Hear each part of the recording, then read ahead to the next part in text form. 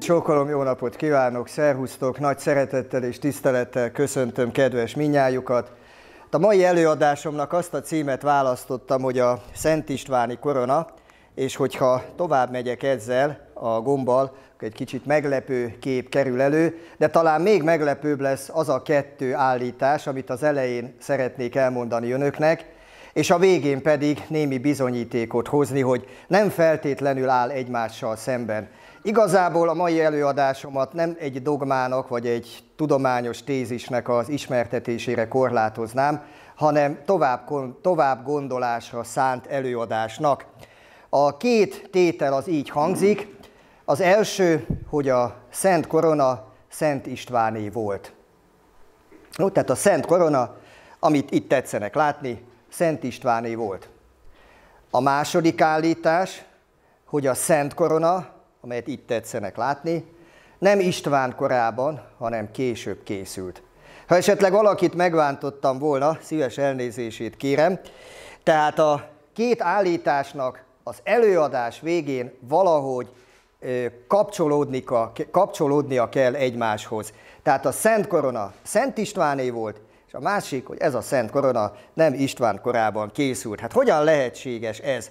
Ugye a 18. század végéig a magyar közvélemény szilárdan hitte azt, hogy a Szent Korona a Szent István király tulajdonát képezte, és ebben a rendszerben, ebben a gondolatkörben nagy szerepet játszottak a 11-12. századi kegyes legendák szövegei, amelyek magyarázták István királynak a nevét. Ugye a nagyobb legenda, amely a szentélyavatás körül készült, tehát 1083 táján, ugye az aláhúzott szó jelzi itt, hogy mire céloz, István nevét a megkoronázott, azaz a koronátus szóval hozza összefüggésben. A kisebb legendát nem hoztam elő, mert a szerzője nem utalt István és a koronának a kapcsolatára. Ezzel szemben a 12. század elején készült Hartvik győri megyéspüspök által összeállított harmadik életrajzba már ugye egy sajátos gondolat fogalmazódott meg, hiszen István neve itt egy tárgyal kerül összefüggésbe a koronával.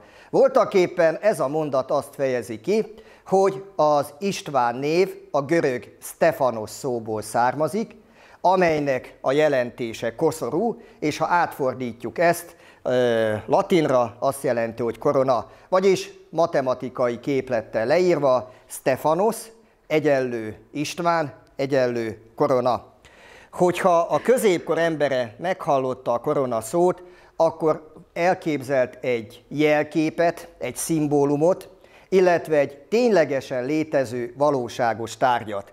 Az utóbbit fogjuk vizsgálni, mert Adrián azt mondta nekem, hogy maximum 60 percet beszéljek, tehát lesz még néhány gondolat, úgyhogy nem húzva az időt, a szakemberek a koronának, mint tárgynak három típusát különítik el. Kezdjük az legalsóval. Halotti koronának tekintik azokat a diadémukat, amelyeket az uralkodóval eltemettek, illetve, mint a lengyel példa is mutatja, az elhunyt ravatalára kerültek, és ezek nagyon sokszor megsemmisültek. Megsemmisültek az úgynevezett reprezentatív koronák is, tehát ilyen országló, ünnepi, stb., mert ezeket az uralkodók életük során használták, különféle alkalmakkor, követek fogadásakor, országgyűlések során, királyi tanácsban, de ezek, hogyha tehát, hogyha elhunyt az uralkodó, akkor az utód ezeket beolvasztatta, és elkészítette a saját fejére valót. Na most a harmadik típus, amit legelső helyre írtam, mint talán rangban is a legfontosabbat, ezek az úgynevezett beavató koronák, ezek azért a legrangosabbak, mert csupán egyetlen alkalommal használták az úgynevezett királyavató szertartáson. Mit is tudunk erről a királyavatásról, milyen fontos közjogi jelentősége van? Ugye ezt a jelenséget, vagy ezt az eseményt hétköznapi nyelven koronázásnak szokás nevezni, bár ez a fogalom egy kicsit félrevezető, hiszen nem fejezi ki azt, hogy egy több részből álló egységes cselekmény a, ritu- a rituálé, amelyben ezek a részek együtt fejezik ki a hatalom teljességét és égi eredetét. A szertartás legfontosabb elemét a korai időkben a felkenés képezte, ami miatt a 11. század vége, 12. század elejéig szentségnek tekintették a szertartást. Francia nyelvterületen Sacre de Roi, azaz a király szentsége néven ismeretes a király avatás. Ha a magyar szakirodalmat vesszük elő, a 18. század végéig, amíg többnyire latin nyelven készültek ezek a jogtörténeti, eseménytörténeti munkák, ezek nem a koronációt, hanem az inaugurációt, vagyis a beavatás szót használták. Egyszerűen azért, mert a szertartásnak az volt a lényege, hogy a megszerzett hatalmat törvényesítse, vagyis latin eredetű szóval legitimálja. A legitim, azaz törvényesen hatalmat gyakorló uralkodónak méltósága volt, és innentől kezdve nevezték felségnek. Tehát addig nem felség egy király, amíg az úgynevezett beiktatási ceremónia, mint a király avatás meg nem történt. Azután viszont teljes értékű uralkodóvá vált, azaz a felségjogok teljességének lett a birtokosa, és ha szuverén uralkodó semmilyen külső hatás, nem, külső nyomás, hatás ugyan igen, de nyomás nem befolyásolta az ő uralkodását. Na most a magyar történelemben is tetten érhető a felkenésnek ilyen fokú jelentősége az Árpád-kor korai szakaszában, és első Géza király, amikor 1075-ben megalapította a Garam-Szent Benedeki apátságot, és kiadott egy oklevelet, abban magát Rex Consecratusnak, azaz felszentelt királynak nevezte. Na most, amint a, az állam és az egyház viszonyában, úgy a hatalomgyakorlás addig alkalmazott módjában is döntő változást eredményezett az investitúra háború kitörése, vagyis a pápaság és a császárság küzdelme. Ugye első 7. Gergely pápáról elnevezett gregoriánus reformok hatására először is a 12. század elején francia teológusok kidolgozták és meghatározták a szentségek számát és elnevezését. Az, hogy ma hét szentségről beszélünk, és ezeknek a sorrendje a keresztséggel kezdődik, ez a 12. század elejétől lett általános gyakorlat. Mindez azt jelentette, hogy a királyavatás kikerült a szentségek sorából, és a szentelmények sorába tartozott, annak tekintették, és a szentelő áldások között tartották nyilván. Na most ez persze azt is jelentette, hogy a, a szertartásban egyre inkább háttérbe szorultak az egyházi elemek, és ezzel párhuzamosan a rituálé közjogi színezetet nyert, vagyis előbb megjelentek benne, majd később pedig egyre gyakoribbá váltak a világi elemek. És ennek a hangsúly eltolódásnak természetes következménye lett, hogy előbb-utóbb már a fejéknek, vagyis a diadémnak az uralkodó fejére történő helyezése, azaz a koronázás vált a központi témává. A magyar történelemben a 12. századtól nyomon tudjuk követni a változást, a század végén már magyar sajátosságok is megjelennek a forrásokban, hiszen akkor tekintették az avatást, a legitimációt törvényesnek, hogyha három feltétel egyidejűleg teljesült. Tehát ez nem a kezdetek kezdetére volt jellemző, ez a 12. századnál korábbra nem mutatható ki. A három feltétel az volt, hogy egy, mindegy milyen sorrendben mondom, a szertartást az Esztergomi érsek végezzel, a Székesfehérvári Nagyboldogasszony templomba, ahová István királyt eltemették, illetve azzal a koronával, a korona szakrával, amelyet a közvélemény Szent István tulajdonának tekintett. A hatalom legitimációjának ez a hármas feltétele azt a célt szolgálta, hogy az éppen trónra kerülő uralkodó és István király személye között közvetlen kapcsolatot teremtsen. Ugyanis őseink Géza nagyfejedelem fiában nem egyszerűen az első magyar királyt, és még nem is az ország egyik szentjét tisztelték, hanem elsősorban azt a mítikus őst, akitől a királyok hatalma és az alattvalók jogai eredtek. Ezért, aki csak tehette, igyekezett a maga kiváltságait István vélt vagy valós intézkedéseire visszavezetni. Hát teljesen természetes, hogy ebben a gondolatkörben a legfontosabb közjogi esemény, a királyavató szertartás is ugyanígy járt el, azaz ezt is minden lehetséges eszközzel István személyéhez kötötték, miként a felségjelvények kiválasztását is. Most tehát, hogy tisztáztuk, hogy a királyavatásnak miért volt olyan óriási jelentősége, a következőkben nézzük meg, mi az, amit tudunk István király koronázásáról, hogy aztán szép lassan eljussunk a Szent Koronáig. Először vegyük elő a forrásokat, itt négy ábrát szeretnék mutatni.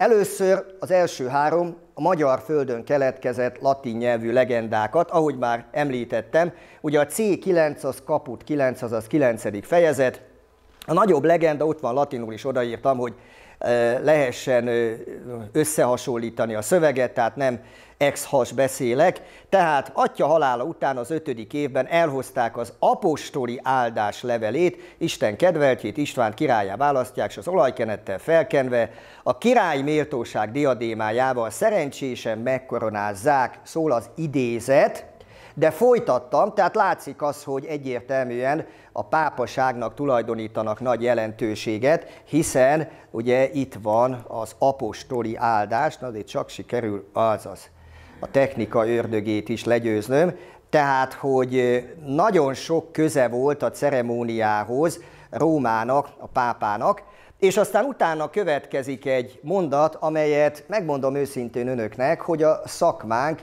sajnos el tussol, nevezetesen ez a post acceptum imperialis excellentiae signum. Ugye szó szerint úgy szokták fordítani, hogy az uralkodói rang jelvényének elnyerése után. Szeretném felhívni a figyelmet, hogy ez a szó, az imperialis, az nem uralkodót jelent. Ugye a latin nyelv az uralkodót, mint szót, ellentétben a magyarral, nem használja főnévként, csak melléknévi igenévként. Tehát igéből képezzük uralkodó, olyan személy, aki uralkodik. Tehát régnánsz. Az, hogy tehát nincs szó, magyarul ha felütnénk a szótárt és megkeresnénk az uralkodónak megfelelő latin szót, nem találnánk. Császár van, cár van, pápa van, és akkor sorolhatnék államfőket, kalifa létezik, szultán létezik, és így tovább, de uralkodó vagy fejedelem, ez összefoglaló elnevezés. Na most, az imperiális szó is ez a lényeg, az imperiális pedig császárit vagy birodalmit jelent. Én most egy kicsit öntörvényű módon ezt a kifejezést lefordítottam úgy, hogy birodalmi rang elnyerése után, igen, itt van, és Hát ezt a mondat szakaszt mindenképpen értelmezés szempontjából bevonnám az előadásomba, vagyis szeretnék választ kapni arra, és remélem önöket is sikerült majd rávenni, hogy hogy-hogy birodalmi rangja volt Istvánnak, aki csak egy királyságot alapított.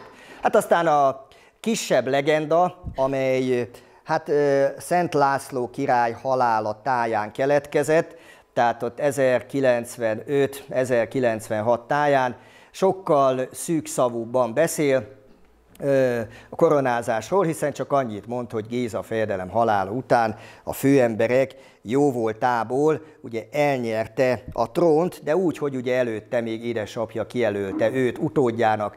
A Hartwig megyés püspök, Győri megyés püspöknek a szövege gyakorlatilag a nagyobb legendának az átvétele. Itt viszont már érzünk egy kis politikai hatást, a modern újságírás semmi újat nem vezetett be, tehát a imperiális szót, igen, itt van, felcserélte a régálisra, és ott már királyi rangról van szó. Ugye ez a 12. század eleje, itt már jelentős változás történt. De ha megfigyeljük, itt is központban a Szentszék áll, tehát a pápaság, hiszen elhozták az apostoli áldás levelét a koronával és a keresztel együtt, tudni Rómából, és István királyt ugye felkenték és megkoronázták.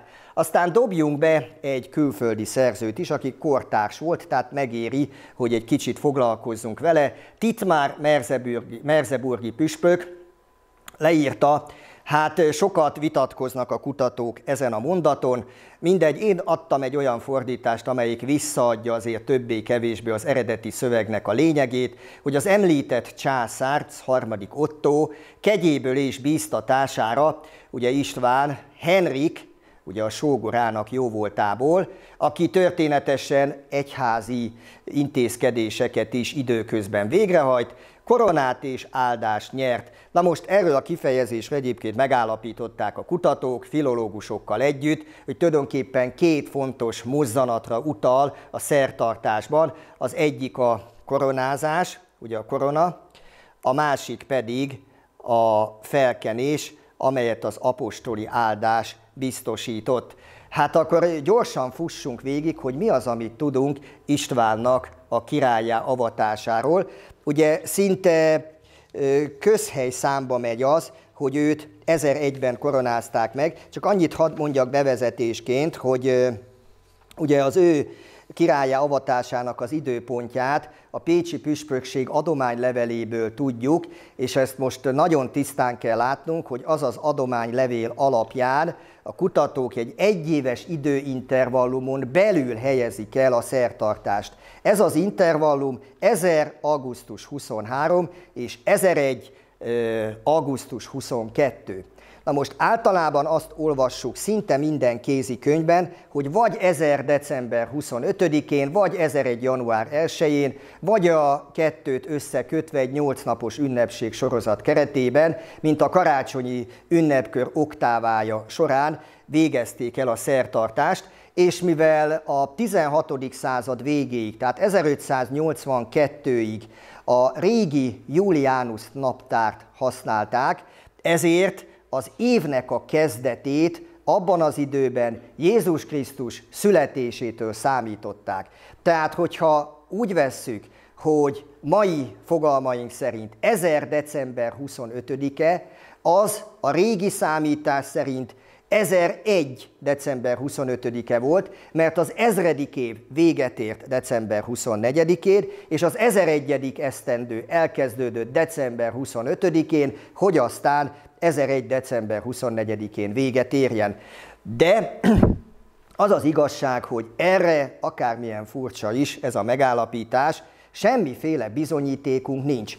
Ezzel szemben egy Johann Keller nevű német történész 2000-ben publikált egy iratot, miszerint a császár, harmadik Otto, és második Szilveszter pápa 1001 január 13-án Rómában a Santa Maria in Pallara templomban, ez ma a San Sebastiano templom, egy zsinatot tartottak, és ott döntöttek arról, hogy majd engedélyezi a pápa az esztergomi érsekség felállítását, és majd koronát küldenek a magyar fejedelemnek.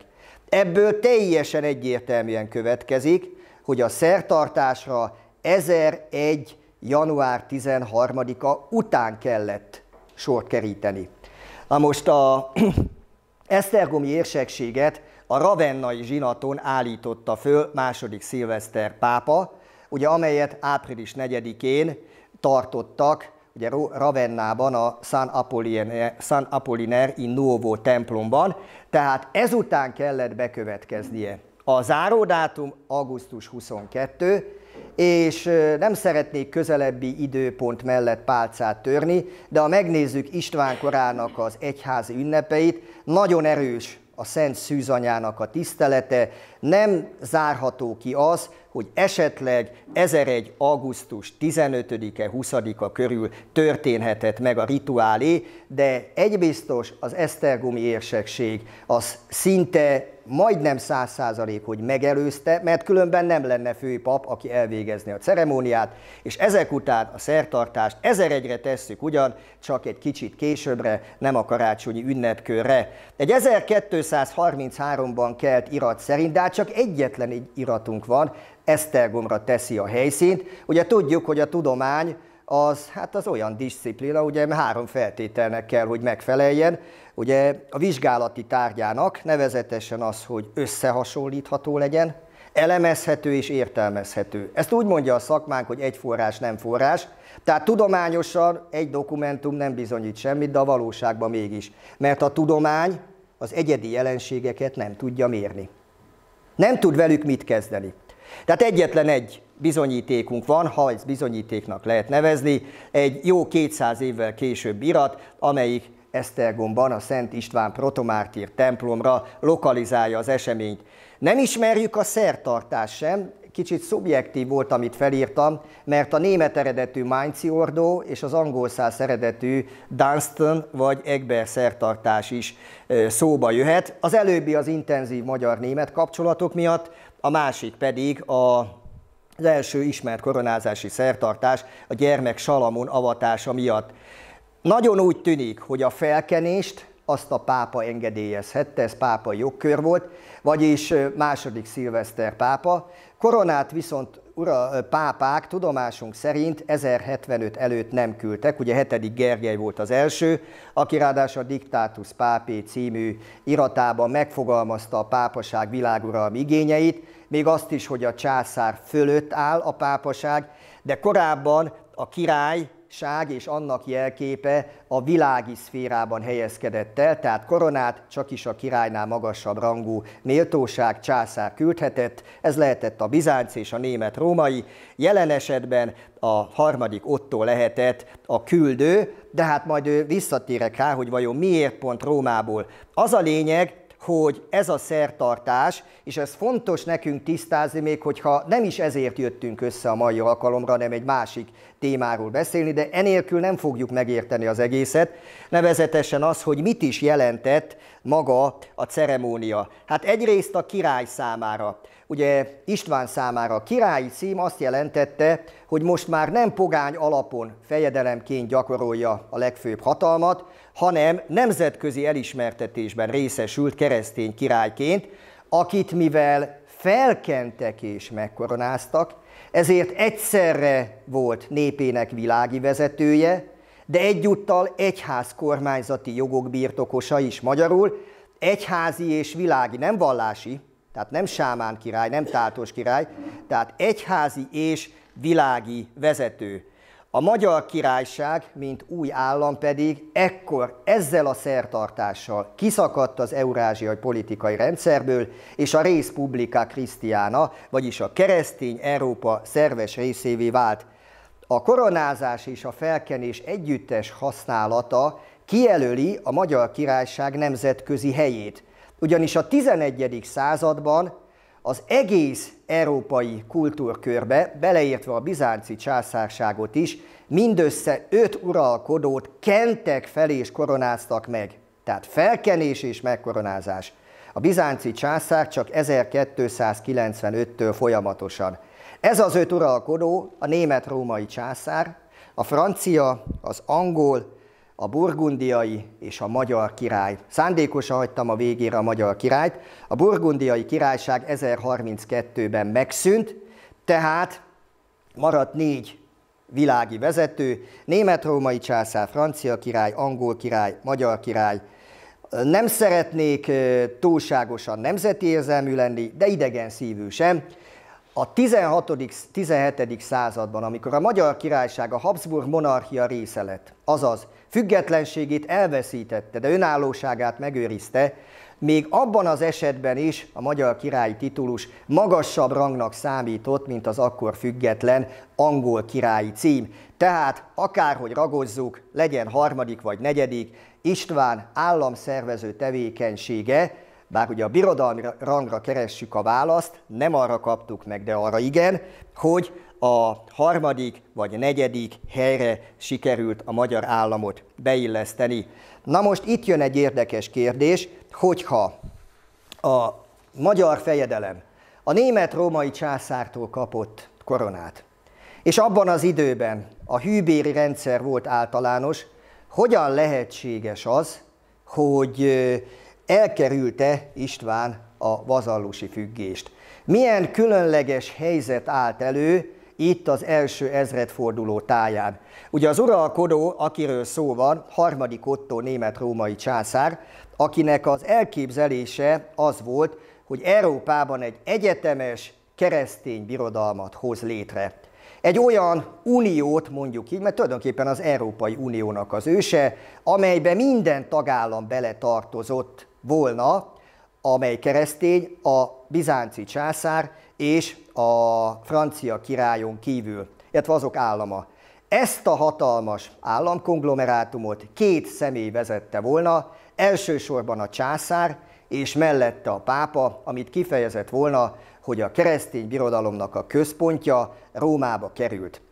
Ezt a nagyszabású elképzelést többen is támogatták, de leginkább az ő barátja és nevelője, Zserber Doriák Reimszi érsek, aki fiatal korában Barcelonában, Sevillában, Kordobában, tehát Barcelona kivételével olyan helyeken tanult, tanult amely arab uralom alatt állt.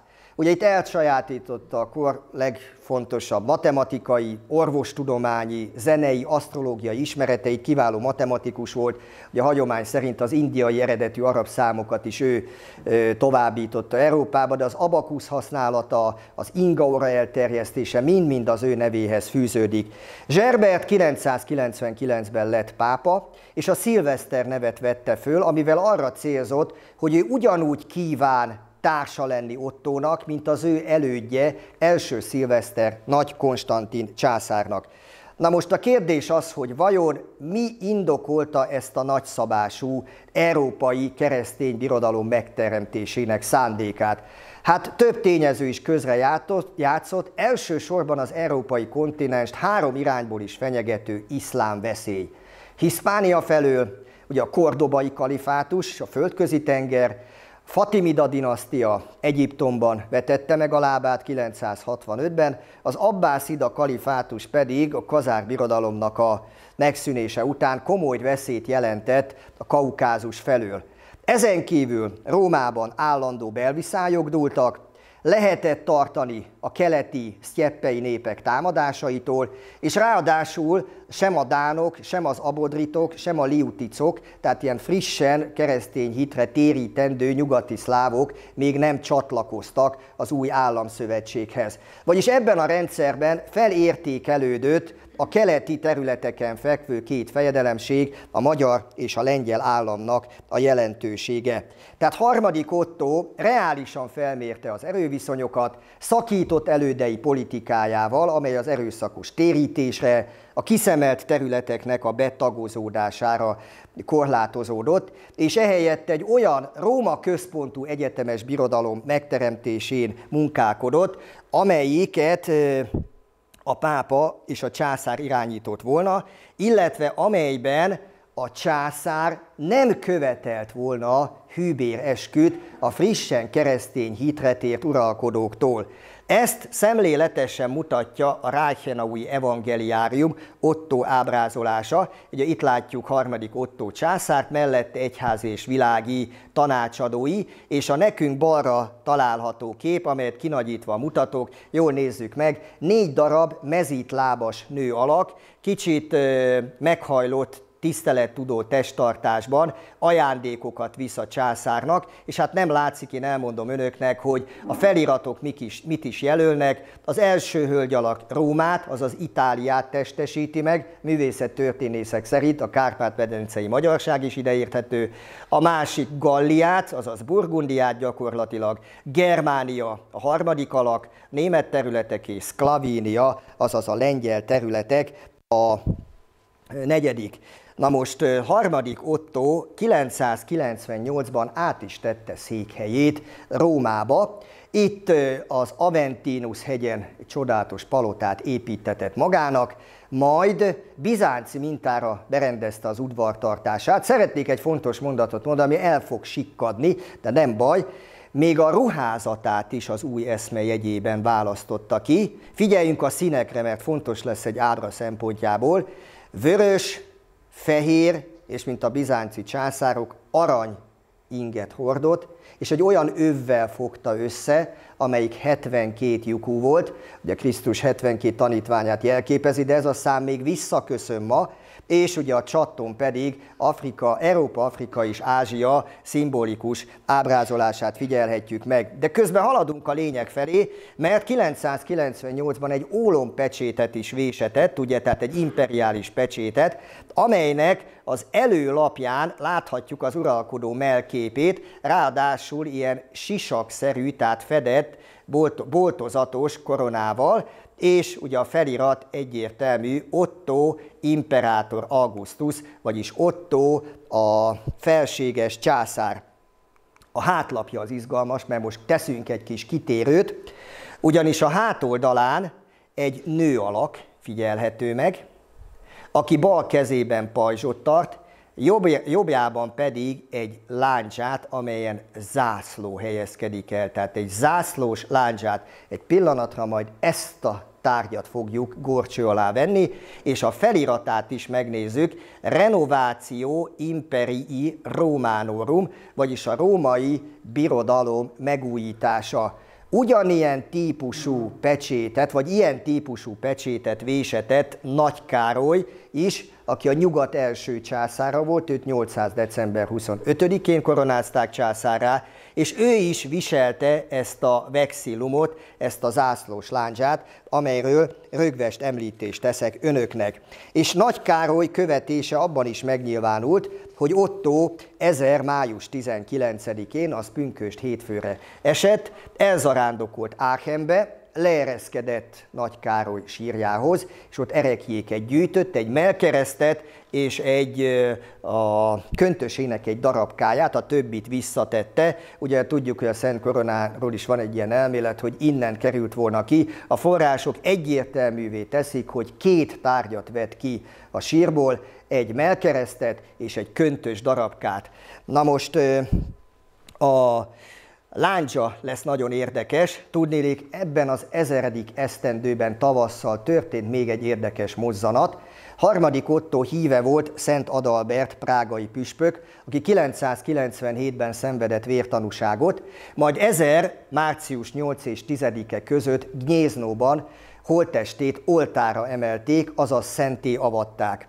A szertartáson jelen volt harmadik Otto, a jó barát, és császár, aki vitte a pápának a jóváhagyó nyilatkozatát, ekkor Gnyéznót érseki rangra emelték, tehát a pápa, lényegi, pápa engedélyével tette ezt meg a császár, és ami érdekes volt, hogy a császár levette a fejéről a koronát, Boleszláv fejére helyezte, elhalmozta egy különféle címekkel, hogy a római nép barátja és szövetségese, és átadott neki egy láncsát, amely a német birodalmi láncsának a másolata volt. Vizsgáljuk meg ezt a tárgyat, mert választ kapunk a nyitott kérdésre, és a Szent Korona szempontjából is nagyon fontos. Ugyanis a német birodalmi láncsáról, amelyet a Bécsi Schatzkammerben tekinthetünk meg, tudjuk, hogy a 8. században készült Karolink típusú szárnyas láncsa volt, és azt tartották róla, tehát az a hír járta róla, hogy a harmadik században vértanú halált halt, Szent Moritznak a láncsája volt, különlegességét pedig az adta, hogy belehelyezték Krisztus szögeinek egy-egy darabját, és emiatt szent tárgyként tisztelték. Ennek a láncsának két másolata készült, az egyik lengyelföldre került, ez az, amiről az előbb beszéltem, Krakóban található egy láncsa, de ez nem az másolat, hanem a másolatnak egy bronz utánzata. Tehát egyik sincs meg, az egyik tehát lengyelföldre került ezerben, a másik viszont nagy valószínűséggel magyar földre. Ademarus Cabannensis, vagy Ademar de Chaban a 12. 11. században leírta, hogy a magyar láncsa mikor bukkan fel először a forrásokban. Engedjék meg, hogy egy hosszabb szöveget olvassak fel. Amikor én ezt készítettem, akkor még ö, csak elhittem a szakmának, meg a forrás elemzőknek a gondolatait, és aztán utána nem bíztam bennük, és megnéztem az eredeti szöveget, és ebben a következő olvasható, tehát kiragadás nélkül. Szent Bruno pedig a hitre térítette Hungária tartományát és egy másikat, amelyet Russziának hívnak. Hungária királyát, kit Gézának hívtak, megkeresztelte, és nevét a keresztségben megváltoztatva Istvánnak nevezte el, amit Otto császár István protomártír évfordulójának kereszteléskor kiválasztott. Tehát ez a gondolat azt jelenti, hogy amikor Géza, bocsánat, igen, Géza felvette a kereszténységet, tehát nyitott a császár felé, ez 972-ben történt meg, elküldte a követeit Áchenbe, és a császár, akkor ugye első Otto volt még, ő karácsony másnapján, tehát december 25 26-án István protomártír napján döntött arról, hogy igen, küld misszionáriusokat a Kárpát-medencébe. Tehát a keresztelésnek 973 elején kellett megtörténnie, ha csak Intercityvel nem repültek haza a követek, de ez nem történt meg, úgyhogy ennyit tehát erről, és ehhez az esemény. Nagyon fontos, hogy 973-ban vagyunk, és ekkor tessenek nagyon figyelni, hogy mit mond a szöveg, Ugye a folytatás így hangzik, már ez, ami itt látható, és nagy lelkűen hozzájárult ahhoz, hogy királysága legyen, tehát 973-ban a fejedelemnek, hogy legyen, de majd ugye, és engedélyt adva arra, hogy mindenhol szent láncsát hordoztasson, miként az magának a császárnak a szokása, ugyanis ezt a láncsát a császárok nem a kezükben tartották, hanem előttük vitték. És miként a császárnak a szokása, az úr szegeiből és Szent Moritz lándzsájából saját lándzsáján lévő erekjéket engedett át neki. A fent említett király megparancsolt a Szent Brunónak, hogy fiát, tehát Géza, ugye, hogy fiát is keresztelje meg, azt a nevet adván neki, amely neki is volt az István, tehát így lett Vajkból István. Ezen és ezen István nevű fiának, és itt már ugrás van időben, Otto császár Henriknek, a későbbi császárnak a nővérét adta feleségül. Ez 996. Miről szól ez a szöveg? Tessék megnézni.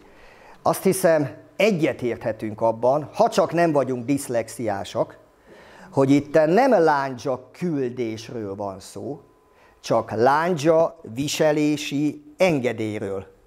Ugye? Amit küldött a császár biztos, tehát 973 amit biztosan küldött, ha a forrás hitelesen tájékoztat, erekjék. De el kellett küldenie a láncsát, vagy legalábbis mindenképpen volt láncsája Istvánnak, és hogyha elküldte ezt a császár, ez legkésőbb 996-ban történt, ahogy, ez a szakma is, ahogy ezt a szakma is vallja, még egyszer, ha csak nem csináltatott magának egyest Istvánt. Miért gondoljuk azt, vagy gondolom azt, hogy 996-ra meg kellett lenni annak a láncsának, amely 1045-ben kikerült az országból? Hát azért, mert Szent Moritznak a személye, tehát ugye akinek a erekjéi ide kerültek, beszédes. Szent Moritz ugyanis egyrészt Gizella a feleség családjának, és Niederaltáich Bencés monostorának volt a védőszentje és Niederaltájból értez, érkezett a Kárpát-medencébe az 1010-es években Szent Günther, Gizella rokona, testvére, ezt nem tudjuk, aki a mai Borostyán kő táján remetéskedett, azaz Bakonybélben, és az ő javaslatára alapította meg István 1030-ban a Bakonybéli Szent Moritz Bencés monostort, és adományozott neki jelentős birtokokat. Tehát kellett létezni egy láncsának, és erről vannak forrásaink is. Az egyik a koronázási palást, amelyen ugyancsak az István képet hoztam be, annak ellenére, hogy nagyon jól tudom, hogy itten nem az István szó van, hiszen azt is tudjuk, hogy ez eredetileg Miseruhának készült ez a tárgy, tehát István és Gizella 1031-ben adományozta, amíg el nem készült Nagybo- Székesfehérvár Nagyboldogasszony templomnak, de Később átalakították, és valószínű, hogy ekkor cserélték ki a nevet, de a lényeg az, hogy ebben az uralkodó jobb kezében látunk egy szárnyas láncsát. Aztán menjünk tovább, van egy másik forrásunk is, ez egy koronázási emlékérme, ez a dénár, amelyből 1968-ig mindössze egy-két darab volt ismerős a Kárpát-medencébe, és a numizmatikusok nem is tudták hova helyezni, hogy ez micsoda. Aztán 1968-ban a Baranya megyei Nagyharsányban 40 darabot is előtártak ebből, és akkor kiderült, hogy ennek a pénznek, ez körül úgy képzeljük, hogy ez 2,2 cm átmérőjű, átlagsúlyuk 1,26 g, és két oldala van, tehát koronázási emlékérme. Nyilvánvaló, hogy az itteni felségjelvények kijelölik a Magyar Királyság helyét az európai nagypolitikában. Ugye van egy előlapja neki, és van egy hátoldala. Az előlapján, mindjárt kinagyítom, hogy mi található, és a hátoldalról is fogok majd beszélni. Tehát az előlapján egy láncsa, itt tisztán lehet látni, a hátoldalon pedig, hát nem tudom, egyet érthetünk-e abba, mert a szakma azt mondja, hogy ez egy, na végre, tehát hogy ez egy Karolink típusú templom, csak egy probléma van, hogyha jól megnézzük, ez lehet egy korona is, ráadásul van itt egy latin szöveg, amelyre azt mondják, hogy reci felirat, hát persze, hogyha úgy nézem, első olvasatra reci, csak azt kell tudni paleográfiailag, hogy a C az jelent K-t is, például az ókori Rómában ugye Tiberius testvérek közül az egyiket Kájusznak hívták, ugye C-vel írjuk, de Gájusznak ejtjük. Tehát a C és a G kombinációja az egyáltalán nem volt ritka, a reci feliratnak semmi értelme, templomon aztán még kevésbé, én szerintem egyetértve néhány történésszel, ez inkább egy korona, és a felirat helyesen úgy hangzik, hogy regi, tehát nem reci, hanem regi, azaz királynak. Ez a korona, mint látható, nem egy abroncs, hanem egy zárt korona. Viszont most nem azt fogjuk vizsgálni, de visszatérünk rá, hanem ezt a lándzsát, ugyanis a lándzsa egy felhőből kinyúló kéz markában található, és látjuk azt, hogy itt is zászló helyezkedik el rajta. Na most ez egyáltalán nem véletlen, ugyanis ez egy zászlós láncsa. Én nem azt szeretném ezzel utal, nem arra szeretnék utalni ezzel, hogy két különböző láncsáról van szó, de arra igen, hogy két különböző funkciójúról. Mert ezt a láncsa típust láttuk az előbb harmadik Otto pecsétjén, emlékszünk rá? a hátoldalon, mégpedig egy nőnek a kezében, ez nagyon fontos, és utána látjuk ezt a zászlós láncsát egy másik evangéliumon, az Ácheni vagy Liutár evangeliáriumon, amelyen harmadik Ottót egy felhőből kinyúló, úgynevezett Isten kéz megkoronáz, és alatta két személy, Boleszláv és István. Emlékszünk még a ruhaszínekre? Fehér és vörös, mind a kettő zászlós láncsát tart. Ha most összevetjük ezeket a forrásokat Nagy Károly zászlajával, a vexillummal, akkor tudjuk, és az, hogy egy nő alak tartja, ez nem más, mint Szent Péter zászlaja, amelynek kézben tartása azt fejezi ki, hogy birtokosa Róma és a keresztény vallás védelmét látja el. Vagyis ezek után, hogyha összegezzük, és remélem, hogy nem csúszok nagyot az időben, még tetszenek bírni, ugye? Tehát ha összegezzük az eddig elmondottakat, akkor egy pillanatra hadd térjek ehhez vissza, akkor azt mondhatjuk, hogy István király koronázási emlékéjén látható két ábra jelöli ki az uralkodó birodalmi jellegét, a birodalmi méltóságát, az ászlós láncsa és az árt korona de nem azért, mert István egy hatalmas területen gyakorolta volna a főhatalmát, hanem azért, mert az első ezredforduló táján életre hívott egyetemes keresztény birodalom részévé tette a magyar államot. Tehát a birodalmi rang jelvénye azt fejezi ki, hogy nem az istváni életmű volt birodalom, hanem az az nagy európai politikai rendszer, struktúra, amelyhez beillesztette az államot, államát. A keresztény magyar monarchia egy pápa és császár, pontosan egy császár és egy pápa által Rómából irányított, tehát ez nagyon lényeges, Rómából irányított birodalom szerves tartozéka volt. A 12. században azért kellett kicserélni az imperiális szót, mert már kitört az investitúra háború a pápaság és a császárság között, és ez a szó félreértésre adhatott okot, mert jelölhette a német birodalmat is, már pedig Könyves Kámán, aki megbízása, akinek megbízásából készült a legenda, tudjuk, hogy a pápaságot támogatta. Na most ezek után, ugye ha már koronáról volt szó, a láncsát azt tisztáztuk, korona, hát azért hozzá kell tennünk azt, hogy még messze vagyunk a Szent Koronától, de csak látszólag. Ugyanis, hogyha Szent István koronáiról próbálunk forrásokat találni, hármat is sikerül. Ugye az egyik ez a szakma többség által Karolink templomnak vélt ábra, szerintem ez egy korona. Mert a templomnak miért kellene azt a feliratot adni alulra, hogy régi, ez nekem nem fér a fejembe. Tehát láthatunk itt egy zárt típusú koronát.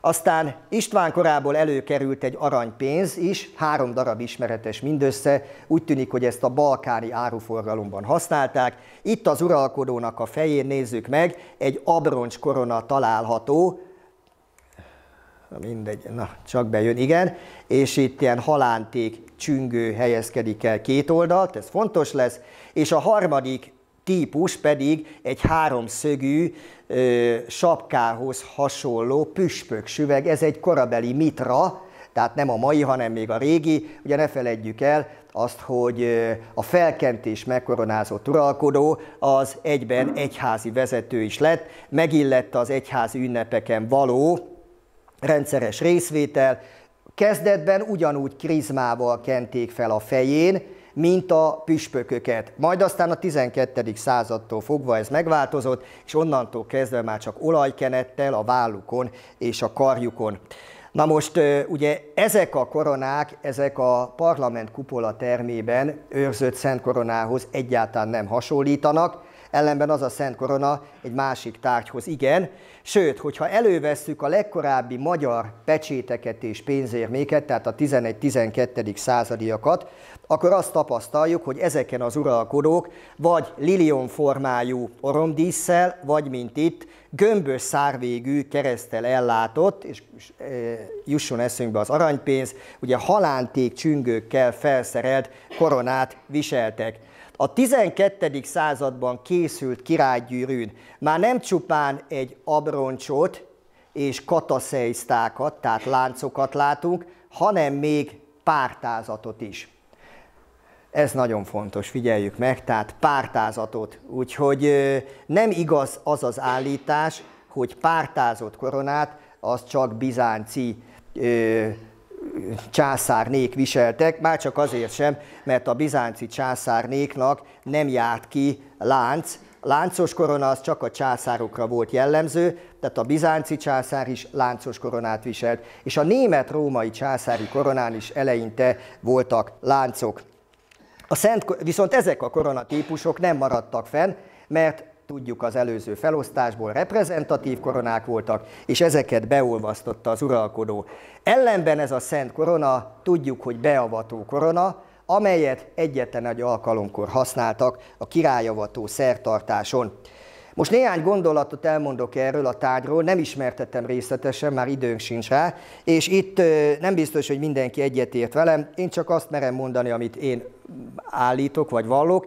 Tehát ez a Szent Korona két részből áll szerintem, egy alsóból.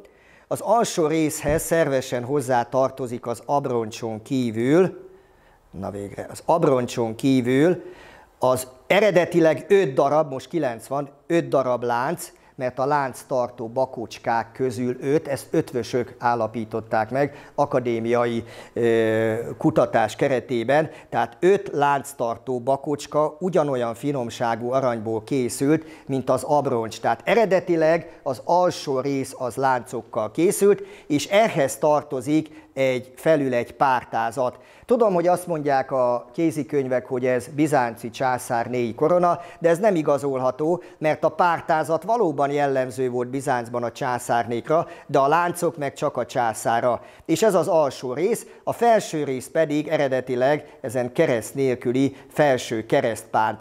Na most mind a kettőt kemény forrasztással készítették, majd utána durván összeszegecselték, tehát ez a két illesztési technika, ez arra utal, hogy nem egyszerre kellett, hogy készüljön. Természetesen vannak olyan vélemények, hogy együtt készült, én ebben nem tudok állást foglalni. No, még egyszer, ötvösök, tehát a Szent Korona azért azt tisztázunk, bárkinek bármi véleménye van, nem aranyműves tárgy, elsősorban ötvös tárgy, És az ötvösök sem értenek együtt, de nem tudtam jobb megoldást találni, mint elfogadom azt az akadémiai kutatás által vallott nézetet, amely viszont nem épült be a szakmába meglepő módon, tehát hogy az abroncs, én nem neveztem görög és latin koronának, biztos tetszettek figyelni, tehát abroncs és felső keresztbánt.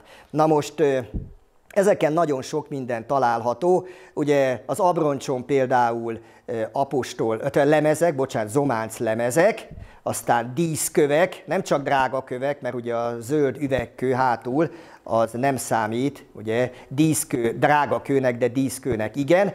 Aztán található rajta gyöngysor is, a, visszajövök, ugye a tetején pártázat, a pártákról azt kell tudni, hogy ezek is zománc lemezek, csak abban különböznek a képektől, hogy nem aranyalapra készültek, hanem Mária üvegre, és gondosan lecsiszolták őket, és ilyen pikkelyszerű motívumok helyezkednek el rajtuk, és ezek a pikkelyszerű ábrák nem halak, hanem kiderült, hogy stilizált pávatollak. Kérném szépen jegyezzük meg ezt az állatot, hogy páva, mert rendkívül fontos lesz. A felső részen pedig ugye apostollemez, apostollemezek, igen, aztán ö, fehér ö, gyöngyök, 72, ilyen vörös színű ö, diszk, akvamarinok, vagy nehogy akvamarin, bocsánat, hanem tehát vörös színű díszkövek, almandinok összesen 64 darab, ez az akvamarin egyébként, és akkor leges legfölül még egy felső pantokrátor kép, lehet, hogy a teremtő atyát ábrázolja, lehet, hogy Krisztus, most ebben nem menjünk bele.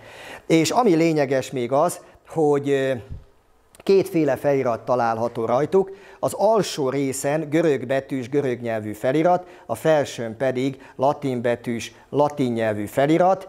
Ugye Honorius Augustodunensis, vagyis Honor de Otün 12. század elején élt francia egyház jogász, írta le a Lélek égköve című művében, hogy a latin a hatalom, a görög pedig a bölcsességnek a nyelve. Ugye a hatalom az égi eredetű, tehát felülről származik, teljesen jó helyen van, a görög pedig alul. Egyébként a két nyelv együttes használata, ugye a keresztény világ egyetemlegességét és egy keresztény vallás egységét testesíti meg, és azt ne feledjük el, hogy ez a nyugati kultúrkör sajátossága, tehát hogyha a liturgia történetbe beleássuk magunkat, kiderül, hogy ez a nyugati, még nem római, nem egységes, a 16. század végétől lett, de akár melyik nyugati európai rítust vesszük elő, a két szent nyelvnek a használata teljesen általános.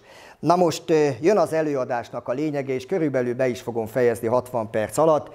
Nevezetesen arról lesz szó, hogy ezt a Szent Koronát gorcső alá vesszük. Előtte szeretném azt a tényt tisztázni önökkel, hogy a középkori műalkotások nagyon sokszor nem csak tényszerűen közölnek valamit, ezt tudjuk, hanem átvitt értelemben. Rengeteg szimbólumban számok, növények, állatok, egyéb jelképek, és ezeket is meg kell szólaltatni. Vagyis a tudomány képviselőinek, akik majd remélem ezt az elméletet, amit elmondok, majd ezt is továbbviszi valaki, hogy gondolni kell arra, hogy a Szent Koronának van átvitt jelentése is, de nem légből kapott misztikus dolgok ezek, hanem kézzelfogható valóság. Például a számok nagyon beszédesek, ugyanis a Szent Koronán két szám meghatározó. Az egyik a nyolcas. Nyolc például a korona átmérője, nyolc hüvelyk, 204, 215 mm. Az abroncson 8 lemez, 8 díszkő, és felül 8 párta lemez található. A keresztpánton legfelül ugye 8 apostolkép, és hogyha hátra megyünk, az akvamarin is nyolcszögletű. De aztán mondhattam volna a vörös színű almandinokat, 64, ami 8x8. Na most a 8-as, a keresztény művészetben a végtelen, az el nem múlás, az örök visszatérés száma. Azt jelképezi, vagy azt fejezi ki, hogy Isten az ember által újjá teremtette a világot. Két példát hadd mondjak el. Az emberiség története a keresztény szempontból az özönvízzel veszi második, kezd, második szakaszát. Az özönvizet nyolc ember élte túl. Noé, felesége, három fia, három szolgája. Üdvtörténeti szempontból a kereszténység számára Jézus Krisztus kereszthalála a cezúra, és tudjuk azt, hogy Krisztus Dávid házából származott. Dávid Jesse nyolcadik gyermeke volt. Szűz Mária hozta életre az igét. Máriát a bizánci és a posztbizánci művészet fátylán három darab, kettő a vállán, egy a homlokán, fátylán három darab nyolcszögletű csillaggal ábrázolja. Ugyanakkor a nyolcas a hatalmi reprezentációban is fontos szám, és a birodalmi császári reprezentációhoz köthető. Gondoljunk a Ravennai San Vitale templomra, vagy a már említett Ácheni palota kápolnára, ezek nyolcszögletűek. A karolinkori intelmekben, ugye a karolingok adták Nagy Károlyt, az első nyugati császárt, a karolinkori intelmekben az uralkodói méltóság ellentétben az istváni intelmekben nem 10, hanem 8 pilléren nyugszik. A 955 után készült Reichenauban összeállított német birodalmi koronán 8 palást látható. És ha már István korában vagyunk, akkor csak egy beszédes adat, harmadik Ottót 996-ban megkoronázó 5. Gergely pápa személyre szólóan 8 hercegséget kapott az uralkodótól. Tehát azt mondhatjuk nagyon óvatosan, hogy a magyar Szent Korona egy keresztény szellemiségű zárt, és idézőjelbe tegyük, kérem szépen, nehogy félreértsük, birodalmi korona.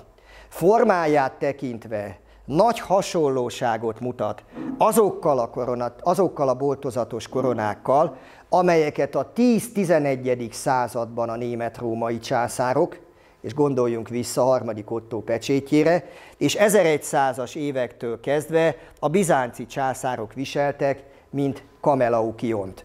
Ezt azért volt fontos kihangsúlyozni, mert Magyarország fogalma alatt a 12. század eleje óta egy olyan politikai rendszert értettek, amelyhez az újkorban, illetve egy politikai rendszer bázis királyságát értették, amelyhez az újkorban három társország, Horvátország, Szlavónia, Dalmácia és hat igényország tartozott. Ráma, Szerbia, Ráma vagy Bosznia, Szerbia, Halics, Lodoméria, Kumánia és Bulgária. Ennek az állam konglomerátumnak az alapjait 1102-ben és 1105-ben Horvátország és Dalmácia megszerzésével Könyves Kálmán alakította ki. Az a Kálmán, aki az Árpád házi uralkodók közül elsőként adta fiának, és egyben utódjának az István nevet, aki bár nem kellett volna, de Hartwig Győri megyés püspökkel, aktuál politikai szándékkal elkészítette a harmadik István legendát, azaz életrajzot, aki első törvénykönyvében, elég a prefációt elolvasni, tudatosan István kodifikációs munkájához nyúlt vissza, és végül, de nem utolsó sorban, aki elsőként temet kezet az állam alapító mellé, a Székes-Fehérvári nagyboldogasszony templomba. Tehát a nyolcas számból, mondjuk így, mint földies számból, ezt a következtetést vontam le. Na de mielőtt azt hinnénk, hogy ez talán túlzás, nézzük meg a másik számot, a pillanatra térjünk ide vissza. A 12-es is fontos szerepet játszik. Ugye 12-est én elneveztem ilyen szempontból égi vagy mennyei számnak, ugyanis kivétel nélkül a gyöngysoron figyelhető meg. A gyöngysornak a színe a kutatók szerint a négy őselemből a levegőre, az ételre vonatkozik. Ugye a felső gyöngysor 72, 6x12.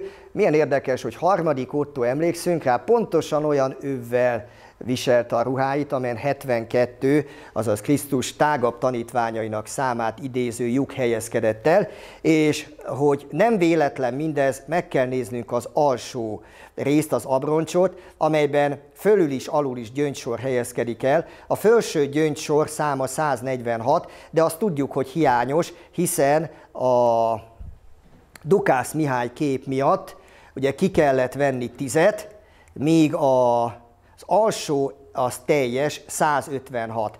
Hát 156 13-szor 12, és mit áld Isten? Minden 12. gyöngy után, vagy helyén, ez változó, valamikor 12. vagy utána egy arany, megint csak arany fontos, arany karika helyezkedik el. Most a 12-es az az örök élet száma, a tökéletességé, a mennyei Jeruzsálemé.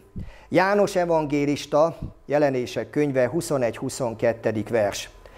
A mennyei Jeruzsálem 12 ezer stádium hosszú, széles és magas. 12 kapuja van, 12 angyal van felette, Izrael 12 törzsének a nevét viseli. Az égi város falainak talpköve 12 drága gyönyre épült, rajta a 12 apostol nevével. És azt is leírja a 23. fejezetben, hogy az életfái 12-szer hoznak termést a paradicsomban. Szerintem mindezek után talán nem túlzás azt kijelenteni, hogy a Szent Koronának bizonyos elemei, a 12-es szám, az arany szín, ez ugye a mennyei Jeruzsálemnek a színe, illetve a páva, emlékszünk még a páva tollakra? Ugye a páva a paradicsom jelképe, itt látható az abroncson. Tehát a 12-es szám az aranyszín és a páva jelkép Krisztus mennyei birodalmára utal. Ez a felettébb különleges tárgy nem csupán világi, hanem szakrális mennyei tárgy is, amely a Szent István kultusz kiteljesedésének köszönhette létrejöttét. Keletkezésének okára és funkciójára szerintem választ adhat feltételes módban a Szent László Herma vizsgálata. A Győri Székesegyházban őrzött fej erekje tartó mer szobor koronapántjának átmérője 200, uszkve 212 mm. Szerintem joggal vethetjük fel azt a kérdést, hogy a 204, 215 mm átmérőjű Szent Korona, tehát nagyjából hasonló átmérőjű korona, eredetileg nem Szent István fej erekje tartójára készült-e? Aztán lehet ezt még magyarázni, hogy minek a mintájára, van, nem mennék bele, mert ha ez a feltevés igaz, de mégis, mond, mégis csak azt hangsúlyozom, hogy feltevés, tehát ha ez a feltevés igaz, akkor ez azt is jelenti, hogy a Szent Korona valóban az államalapító királyi volt. De nem az élői, hanem az 1083-ban Szenti avatotté. Azaz, a Szent Korona Szent Istváné volt. Azért az uralkodói, akit 1083-ban László király és a Magyarországi Egyház kanonizált, és akinek állami kultuszát Könyves Kálmán terjesztette ki. Az a Szent István, akit uralkodóként kanonizáltak, tehát neki nem csak földi korona járt, hanem egyben égi korona is. És másodszor ez a Szent Korona nem István korában készült, hanem később, szerintem Könyves Kálmán idejében. Az a Könyves Kálmán készítette, akinek idejében befejeződhetett a Hermának is az elkészülte, illetve aki tudatosan ápolta Szent István kultuszát. Ez csak egy gondolat volt, azért vállaltam ezt az előadást, hogyha eltetszenek jönni, egyszer ezt is tessenek tovább gondolni. Ugye a kutatásban nagyon sok mindent olvashatunk a Szent Koronáról, nagyon sok mindent tudunk róla, de az alapkérdések tisztázatlanok. Egy nem azt mondom, hogy megoldást, de egy lehetséges verziót kívántam önöknek nyújtani. Szerintem a Szent Korona mérete is esetleg ezzel összefügghet, hogy eredetileg Szent István 12. századra készült, de ma már elveszett hermáját díszíthette, és aztán utána, amikor Könyves Kálmán már új tagállamokat, Horvátországot és Dalmáciát is meghódította, az a magyar, azaz a magyar királysághoz, nem bele, hoz csatolta ezeket az államokat, és most már nem egy regnumnak, hanem ő már háromnak is volt az uralkodója, és ugyanígy az utódok, már kellett egy új beavató koronát készíteni. De nem biztos, hogy készítettek, mert Szent István kultusza eddigre már országos szintűvé vált, és elképzelhető, hogy egyszerűen levették a, a hermáról, és azt kezdték használni. Minden esetre a Szent koronának a használata legkésőbb harmadik Béla idejétől már igazolható vagy feltételezhető, tehát a 12. századtól már ezt nyugodtan állíthatjuk, és ne felejtsük el azt sem, hogy a királyavató szertartás, ahogy az elején felvezettem, talán érthetetlen módon a 12. századra már elsősorban közjogi jellegű szertartás volt, az egyházi elemek háttérbe szorulnak, szorultak, és legfontosabb mozzanattá a diadémnak a király fejére helyezése volt. Hát ezt szántam a mai alkalomra, és egyben tovább gondolásra. Remélem nem tetszettek megbánti, hogy eljöttek. Köszönöm megtisztelő figyelmüket.